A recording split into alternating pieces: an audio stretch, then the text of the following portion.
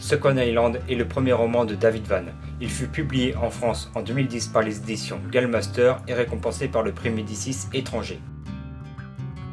Un homme, dentiste de profession, décide de partir vivre avec son fils de 13 ans une année entière sur Second Island, une petite île isolée en Alaska.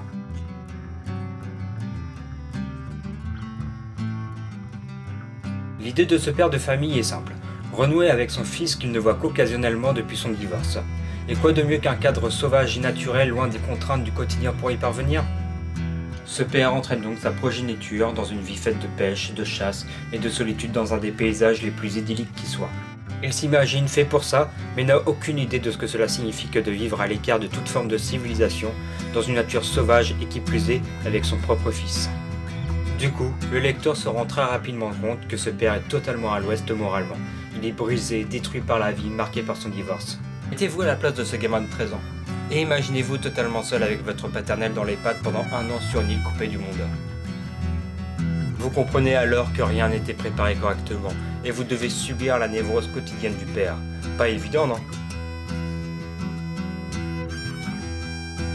David Van a ce talent pour mettre en scène des situations tragiques dont, dans Second Island, le désespoir ne fait que grandir dans un cadre absolument magnifique.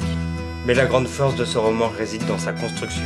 À la moitié du livre, un événement considérable vient bouleverser brutalement le lecteur.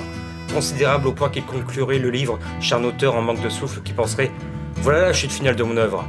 David Van, au contraire, parvient à en faire une transition vers une seconde partie dans laquelle vous pensiez être arrivé au bout du bout du cauchemar et qu'en réalité, ce n'est que le début d'une autre facette du livre où ne subsiste que folie. David Van est un jeune auteur américain qui a quitté les États-Unis après avoir tenté de mobiliser l'opinion contre le libre commerce des armes.